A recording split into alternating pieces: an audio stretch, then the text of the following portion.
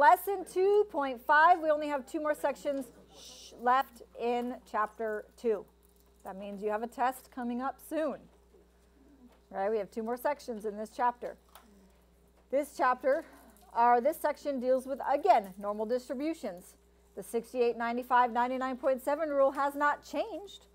And we're going to use that to draw our normal distributions. But what if we want the area or the probability of something that doesn't fall directly on one of our standard deviations, right?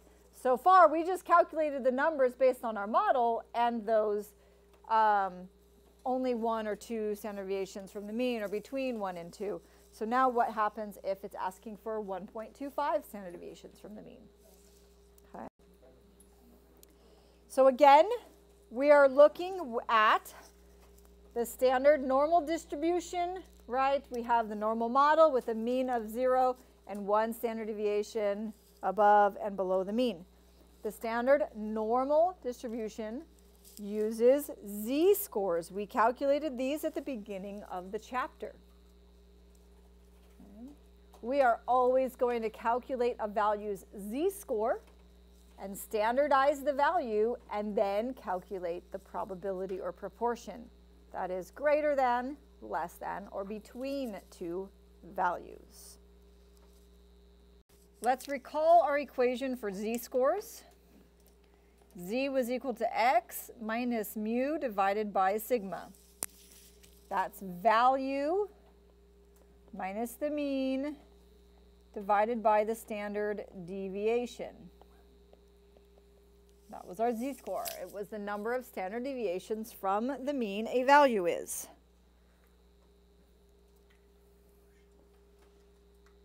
But let's recall the distribution of the Iowa basic skills, right?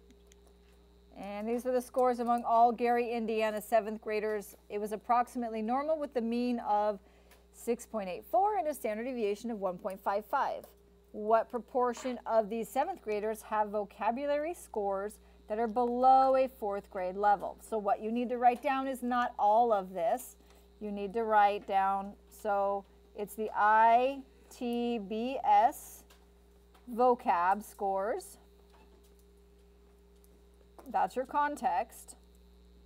Oh, I have two S's in there.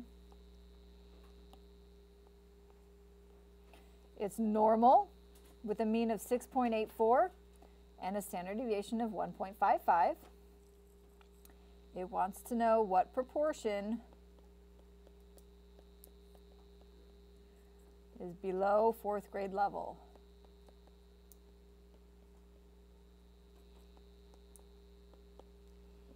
Okay, and there's a picture of the normal model drawn out with the mean and the standard deviation. and then here's the value that we want. It doesn't fall exactly at one standard deviation from the mean or two standard deviations. It's somewhere between negative 1 and negative 2, right? 4 is somewhere between negative 1 standard deviation from the mean and negative 2 standard deviations from the mean. So if I want to find these answers, I'm going to first calculate the z-score.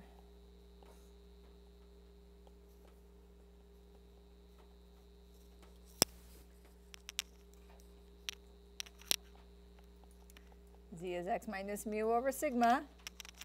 What is the value that I'm interested in? What is it asking me about? Fourth grade, right? I want to know what percent of students or proportion of students are below fourth grade. So fourth grade is that threshold I'm going to look for.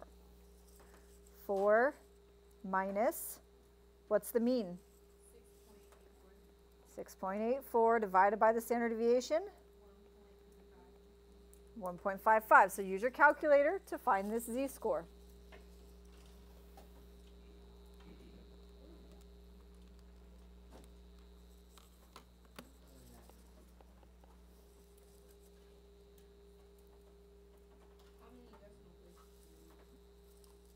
Three.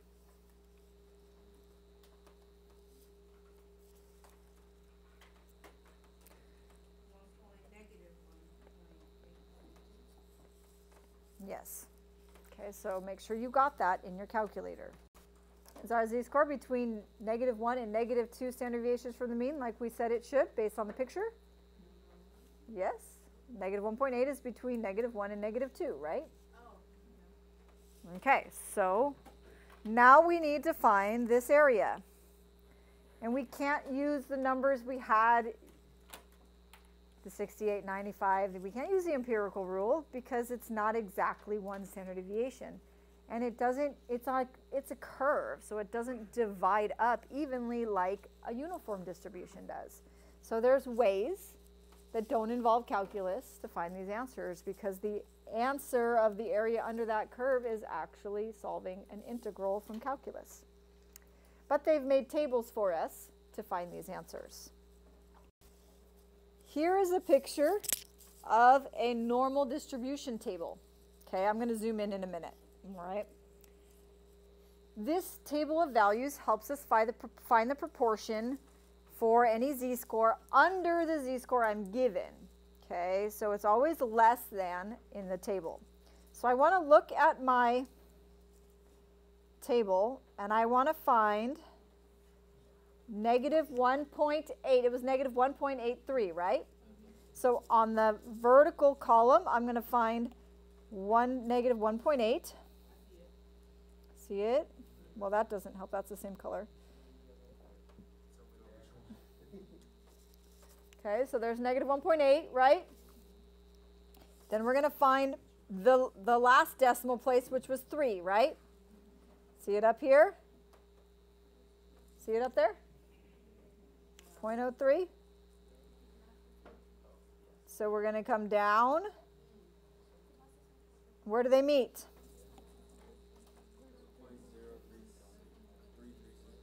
Point zero three three six. So that is the probability of a value being negative 1.83 standard deviations or below the mean. So that's our answer. So our answer for the question is what proportion of um, our fourth grade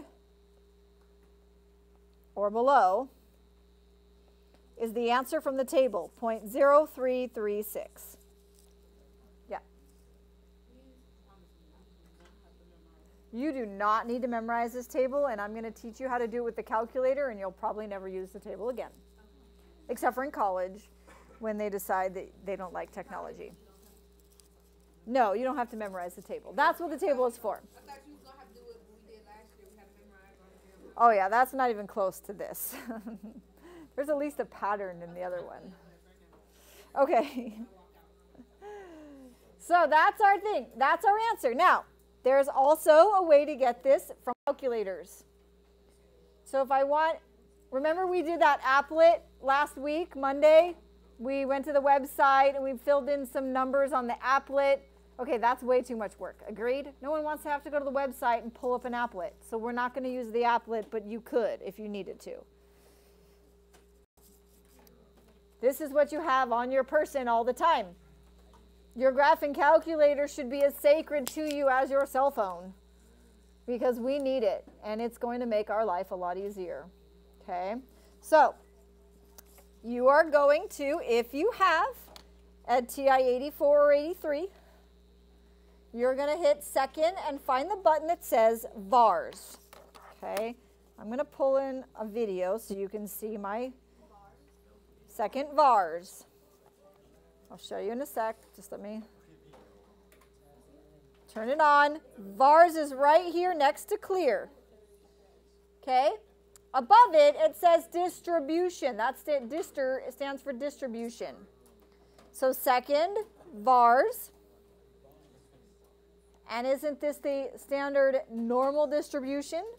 We are going to be always using normal CDF. We never use normal PDF.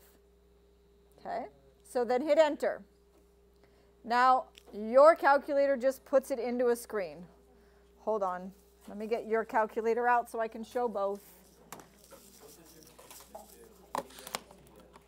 PDF is a single value, and because it's an area, it doesn't calculate it for us. All it can do is draw the picture. So CDF is going to calculate everything for us. If you're on this calculator, sorry, I forget that they're different sometimes. Second VARS, normal CDF, it opens it up like this, right?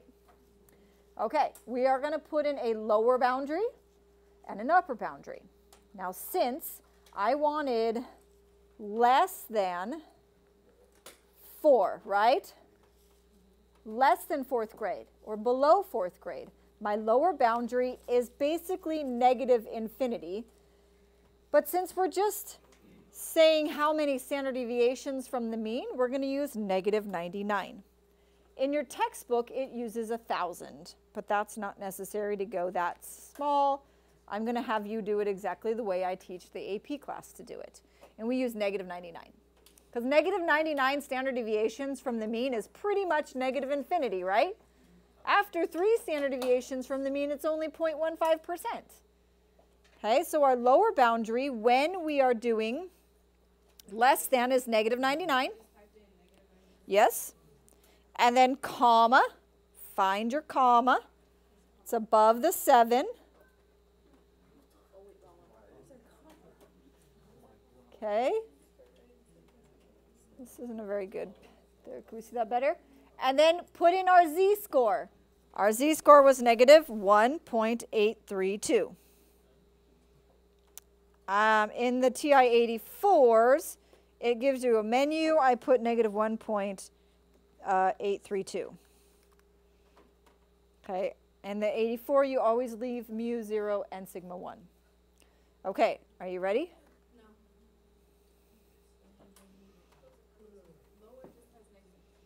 Negative, no, yeah, your lower is negative 1 E99 if it already has that in there, or you can just change it to negative 99 if you're on the 84.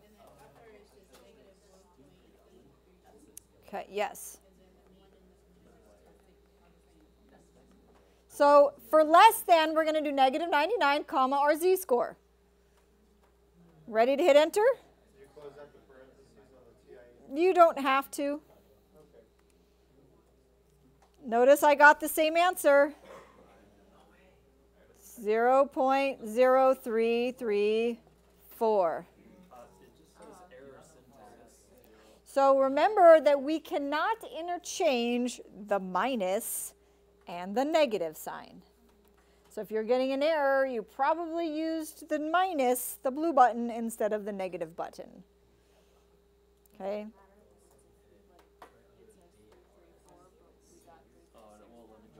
No, that's just rounding error. If I did this without rounding and I put this whole, or if I just put in 1.83, then it would be more accurate. It would be more like the table. This one's actually more accurate because we're giving it more um, numbers. Okay. Okay, so that's, so if I'm rounding, technically this should be 3.5. Okay, remember, remember that round, the more you round, the less accurate you become, right? So most of the time, I try not to round in the calculator until the very, very end. So I will use the second answer button instead of um, typing in a, an approximation. But for us, this is going to be enough. Okay. All right. So the question, the answer is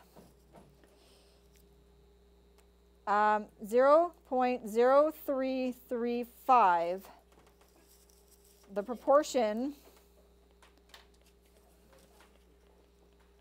of seventh graders in Gary, Indiana,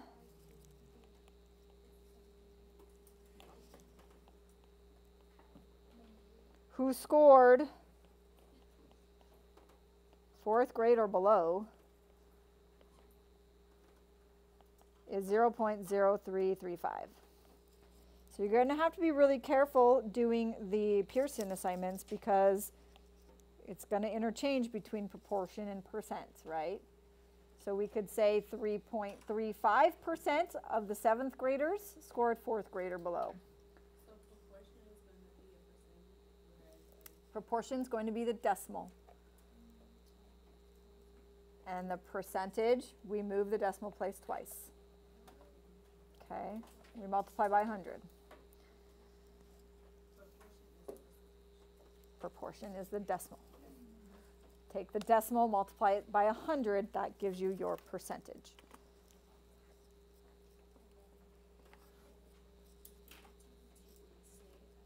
Okay, so here's our next example. Suppose that for one model of car traveling at 60 miles per hour under typical conditions on dry pavement, the distribution of stopping distances is approximately normal with the mean of 165 feet and a standard deviation of 4 feet. So n 165, 4, that's my mean and standard deviation. Marta is driving one of these cars when she spots an accident 170 feet in front of her and needs to make an emergency stop. About what percent of cars of this model would be able to make an emergency stop in less than 170 feet? Okay, so the first thing we always do is draw a picture. The picture was drawn for us on the last one. We're going to draw it on this one. So we draw a normal model, we put our mean in the middle, we add our standard deviation.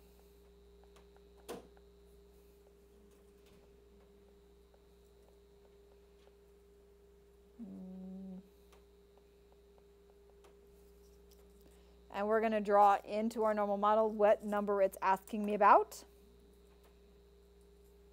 170. About there, right? and everything less than that. Sometimes it'll be greater than, sometimes it'll be less than. Sometimes it's going to be between two values. This is why we always go to the calculator for our answers because the table is going to be more work than it needs to be. Right? So the first thing after you draw a picture, draw your model, Okay, it helps you visualize what you're finding. Two, calculate your z-score. So go ahead and calculate your z-score. So what does our z-score calculation look like? Yes, 170 minus 160 divided by 4. You have to show, it's 165, sorry. You have to show the numbers plugged into the equation. 170 minus 165 divided by 4. You have to show that. You don't have to show subtracting the top and then rewriting that fraction. You can do the rest of it in the calculator, but you have to show the numbers plugged into the equation. Okay, so that's going to be negative 1 point, no, positive 1.25, right? One of the reasons we draw the picture is to help us make sure that our number is reasonable, right? First of all, 170 is above the mean, so this needs to be positive. If it's not positive, I subtracted these wrong. And that's one of the big mistakes is putting the mean in front of the value.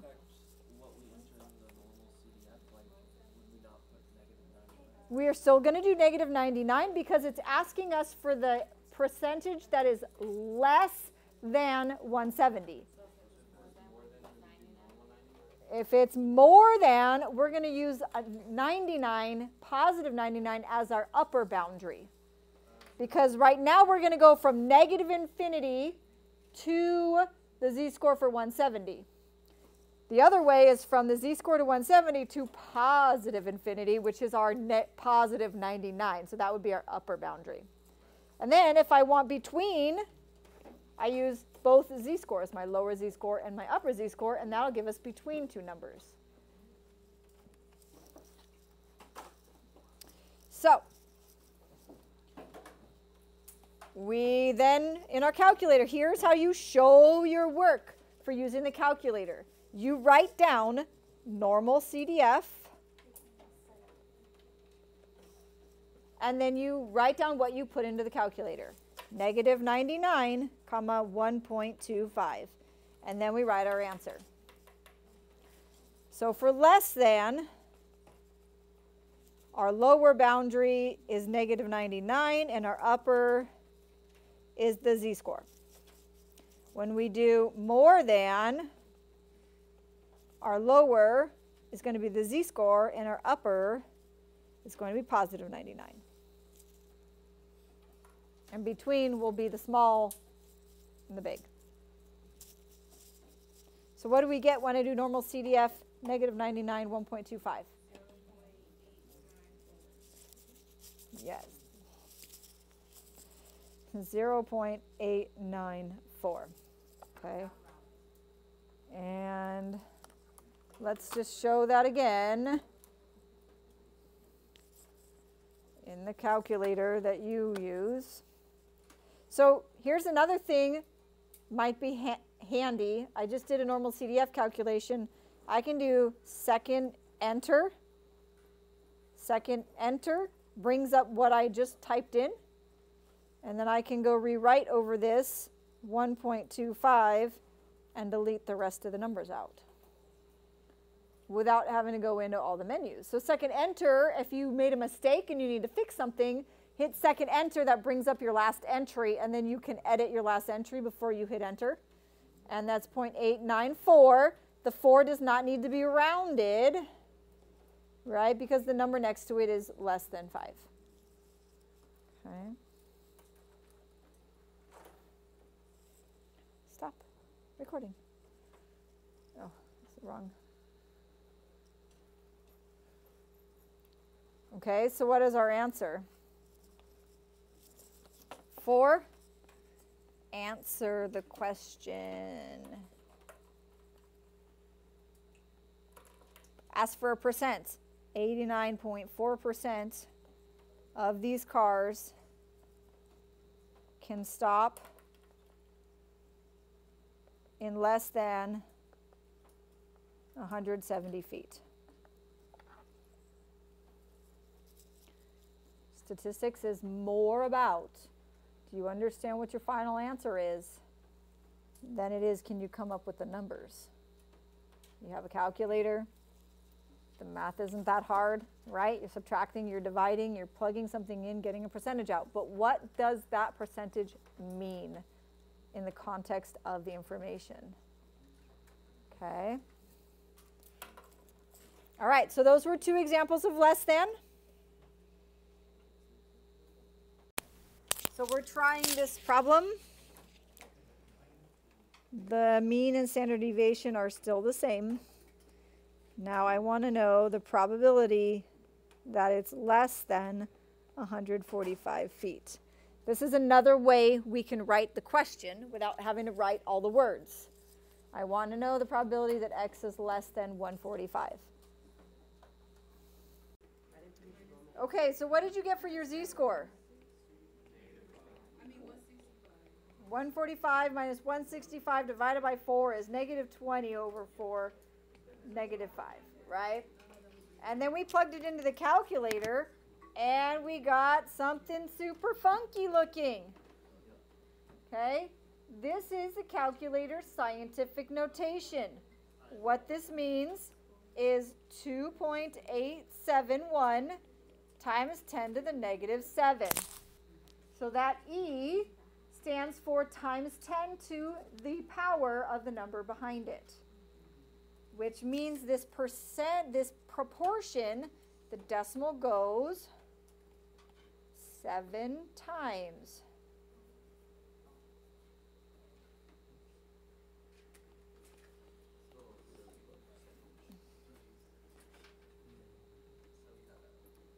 It is okay to leave your answer in scientific notation. Okay? but you need to convert the e to times 10 to the power. Okay? This is scientific notation. Do not write e negative 7. Okay? So the percent would then move it back to more. So 0.00002871% of cars will stop in less than 145 feet. So yes, basically zero. Right? And the farther we get, at one point the calculator will just say zero. When you get too many standard deviations from the mean, the calculator will just say zero. But, right, it doesn't make sense to say 287%. You can't have 287% of cars. So when you get a number that is greater than 1, you need to recognize there's scientific notation there always. If this is bigger than 1, look for the scientific notation. Okay? Okay, our calculators are going to make this a lot easier, but I'm going to show you what the table means and how to use it. What proportion of Gary, and Indiana 7th graders have scores that are at least 9? That's at least ninth grade level. So they're 7th graders who have vocabulary of a ninth grader. On the ITBS vocabulary test, once again, we would start with this picture. It's drawn for us here. Calculate the z-score. That's where we start, right? So my z-score is 9 minus 6.84 divided by 1.55. So you're just writing again, same mean and standard deviation, at least 9. So that's the probability that x is greater than 9, greater than or equal to 9. In the standard normal model, because it's area under the curve, whether it's equal to or just greater than, the area is going to be the same. So it doesn't matter whether you write equal to or not, is what I'm saying. So what is this z-score? Yeah. 9 minus 6.84 divided by 1.55 is 1.394. Okay, now I want greater than, so I want from my z-score of 1.394 all the way to infinity. So which is our 99, right? It's always the smaller number, comma, the bigger number. Always. So what's our smaller number? 1.349, 394. Okay. So it's always the smaller number. So second, vars, normal CDF. And I'm going to put, so here's where I can do second answer. If I hit second and then above the negative sign it says answer, it'll just use my answer from above. Since I just calculated the z-score, why not? Comma, 99. I can close the parentheses or not, it doesn't make a difference. And my answer is 0.0817. And I wasn't recording the calculator part of that. Lame.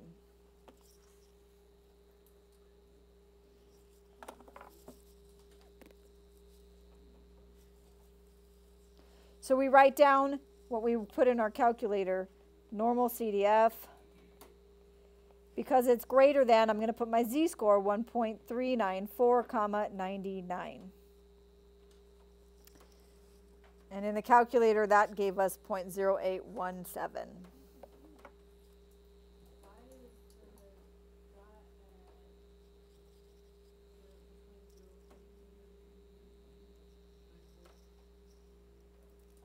Um, what's your question? While we're still working on the same problem, it was 1.39, right? So there's two parts of the standard normal table, positive and negatives. The table always gives you less than that number.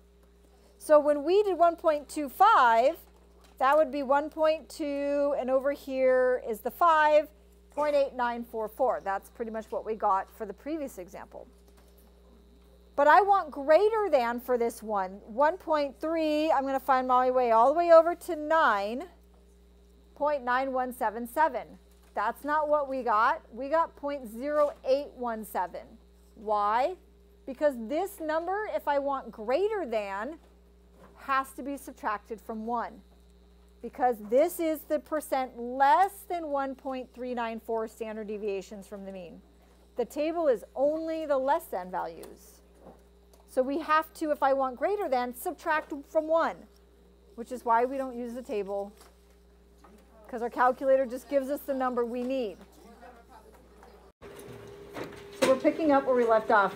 Our last example asked us to find the probability of a upper question, right? It was more than nine. What was the probability that um, a kid in Gary, Indiana got more than a nine on this vocabulary test? Okay, so here is our example.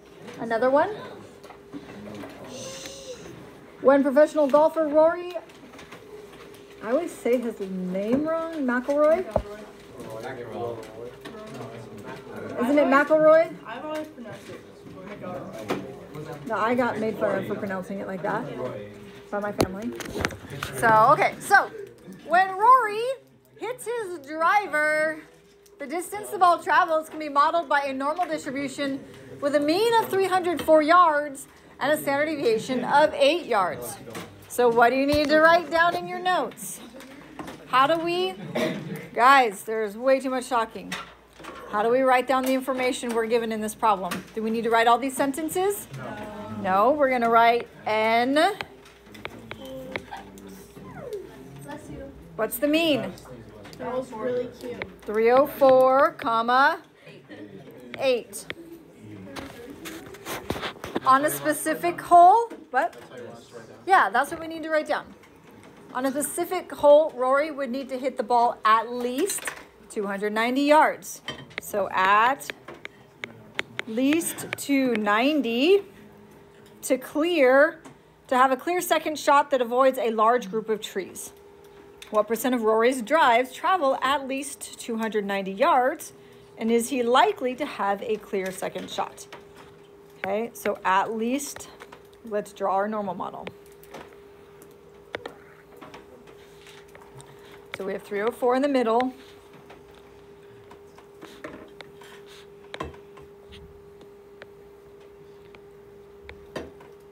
We're going to add 8, 312, 320, 328.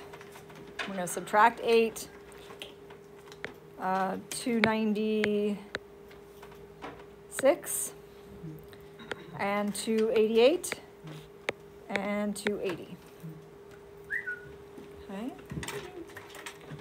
So where is this value we are trying to find? 290. So that's about here, right? What does at least mean?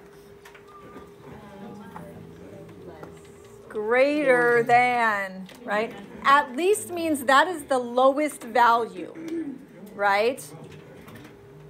The lowest value. You want to buy a bike, it costs $300 you need at least 315 with taxes, right? So if you have less than that, that's not going to work. You need to have more than that. So less at least means greater than. So that's where we could write x is greater than or equal to 290 in that notation. I want the probability that x is more than, greater than or equal to 290. And so that's all this area. So do I expect my answer to be greater than 50% or less than 50%? Greater than, right? Because this is more than half of my picture. All right, so what is our first calculation? Calculate the z-score. Remember the z-score? Is x minus the mean divided by the standard deviation. Okay, so take a second, calculate your mean, and get your or calculate your z-score. Okay, so our z-score looks like 290 minus 304 divided by 8.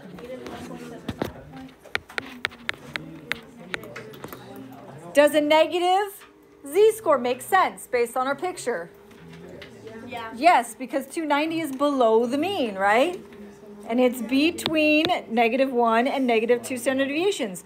So the picture helps us make sure we're like on the right track, right? Our z-score should be negative because it's below the mean, between negative 1 and negative 2. That is true. So we're doing okay. And we expect our answer to be greater than 50. That's also going to help us think about when we get our answer out of the calculator. Did we do the calculator part right? Okay, so let's see how we do this in the calculator. Okay, so we go second vars. Kayla, second vars. It's minus 99. We go down to normal CDF. Okay, we put in, now you're gonna be given a menu. If you're using the TI-84, it looks a little bit different. I've got it right here. Down to two, normal CDF, it looks like this. Okay, if you're in the menu. Now, what is my lower number? Is it the Z-score or is it the 99s? Am I going to use positive 99 or negative 99? This is asking for greater than. What am I going to put in the calculator?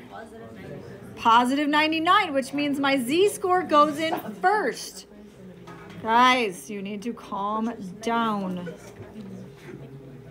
So my negative 1.75 goes in first. Yes. Or you could do second answer, but I didn't do that calculation in my calculator, so I can't use that. Yeah, you could do second answer if you just did in your calculator. And then comma 99. My upper will be 99. And then you go down to paste. So we write, everybody writes the same thing. Normal CDF, Oh, negative 1.75, comma 99.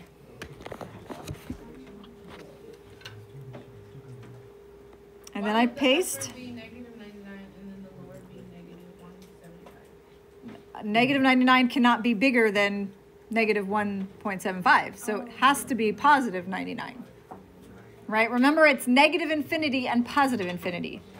So I have to use either positive 99 as my upper boundary or negative 99 as my lower boundary. I cannot interchange that. So upper is, in the upper one is gonna be. As, yes, I'm always Why don't you include zero and one? because this calcu because that's basically cheating to let the calculator do all that work for you. So we just leave it as zero and one.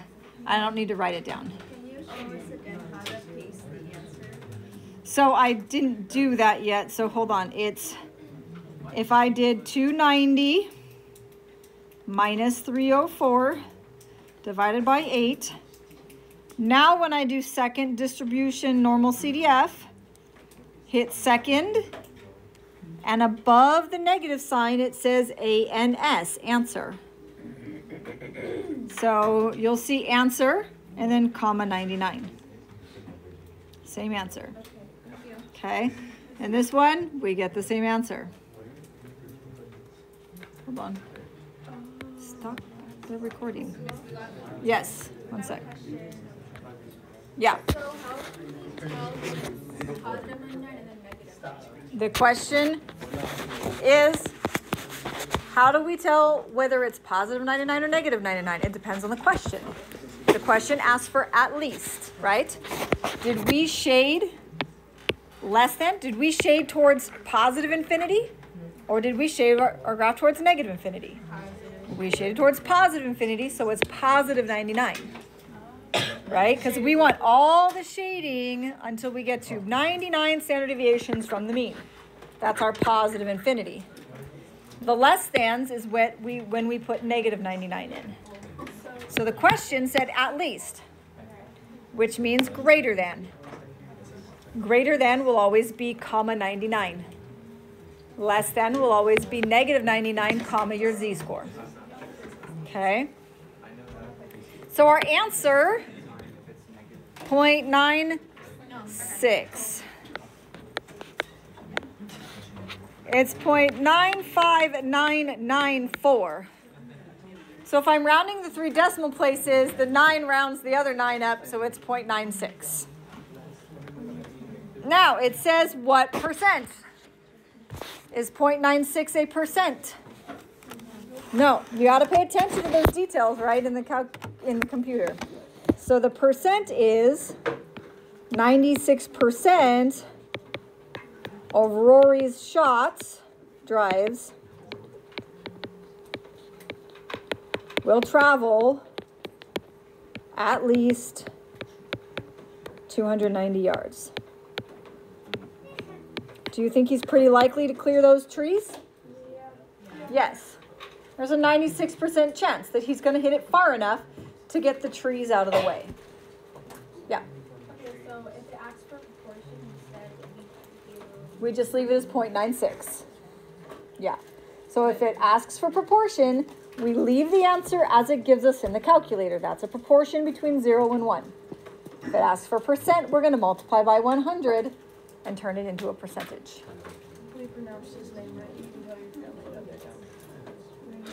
Okay, I like it.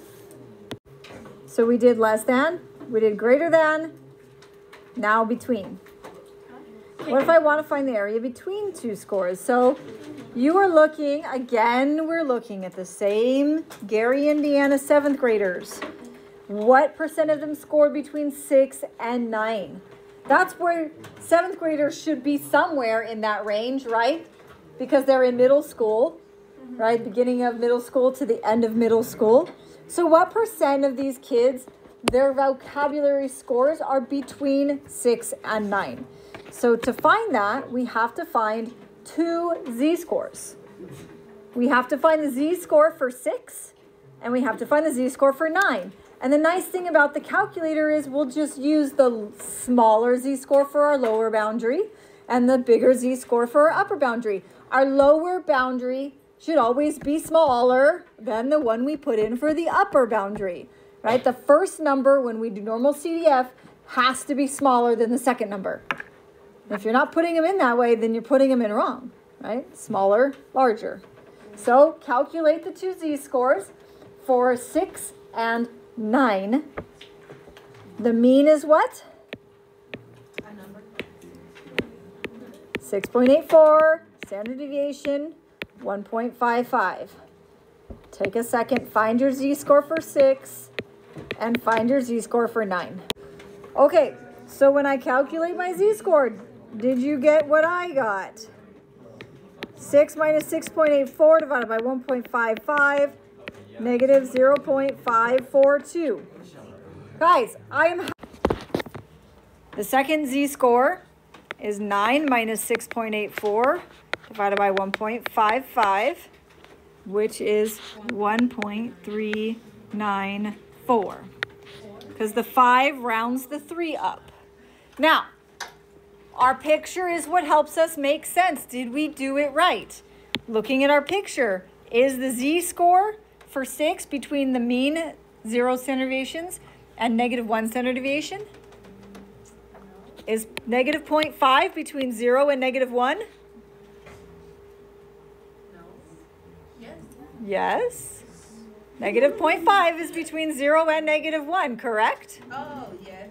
Because this is 0 standard deviations and negative 1 standard deviation. And is my second z-score between one standard deviation and two standard deviations from the mean? Yes, so we're checking, we're using our picture to kind of make sure things are make sense, right? And then we want to know what this area is going to be. I'm not finding less than six. I'm not finding greater than nine. I'm finding in between. So when I plug it into the calculator, I use normal CDF my lower boundary is the lower z-score, negative 0.542.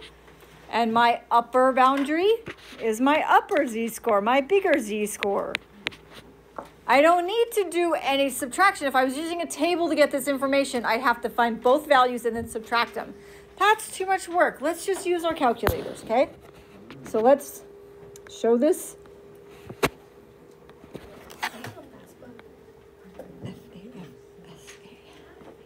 So we're going to do second, vars again, normal CDF. Oops, sorry. I'm going to put in, now, I can't use answer on this because I need this number up here. So I need to type in negative 0.542, comma. Now I could do second answer if I wanted, instead of typing in the 1.394. Okay. Do I have to? No. If I use the answer button, I'm going to get a much more accurate answer, but it's not going to be off by a lot. So there's an acceptable amount of leeway, right? So we're gonna plug that in and I get sixty-two point four. So sixty-two point six two four. What was the question? Did it ask for a proportion or a percent? Estimate the proportion, okay? So the proportion of Gary, Indiana students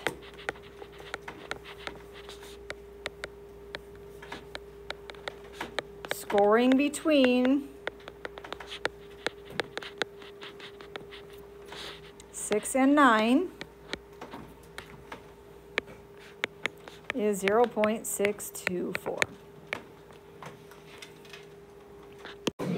Okay, so here's here's another example. You can do this one on your own. Can you get this? When Rory hits his driver again, he hits his driver with a mean of 304 and a standard deviation of 8. You better believe these are actual data values for his driver. They keep a ridiculous amount of statistics in every sport, right? There are people, my husband and I were talking about this this weekend, that get paid a lot of money to sit up in the best seats of the football stadiums, analyze and crunch statistics during the game, and if they win a Super Bowl, they get a Super Bowl ring. For statistics, right? They call it analytics. Right? It's a uh, Moneyball, the movie Moneyball. We might actually watch a movie in this class someday. We're gonna watch Moneyball? Maybe. Will that hit towards the future? I'd have to fit it into my curriculum, but some sometime. Okay, so on another hole, he has the opportunity to drive the ball into the green if he hits the ball between 305 and 325. What proportion of his drives have the ability to make that green? He's a pro, so they generally hit them straight. True. So we want to know if he's going to hit the green. That's 305. The front of the green, the back of the green is 325. So we're going to find our two Z scores. If we look at our picture, 304 is our mean, right? 305 is just above it. And then 325, uh, let's see, 8 was 312, 320, and 328. So we're looking in here. Neither of our z scores should be negative because both of them are above the mean, right? So z, the first one is 305 minus 304 divided by 8, which is 1 eighth point 125, right? Did you get 0.125 for your first z-score? Okay, my second z-score is 325 minus 304 divided by 8. 325 minus 304. 21 divided by 8 is 2.625. Did you get that for your second z-score? Yes. Yes. Good. Yep. Now, since I want between these two values, not less than or greater than one of them, my normal CDF, my lower boundary is the lower z-score, and my upper is my bigger z-score. So lower z-score, upper z-score, right? Always lower upper. If I'm looking at greater than, my upper is 99. Less than, my lower is negative 99. And we get point Four, four, six. 446. So we could say the proportion of Rory's drives that are between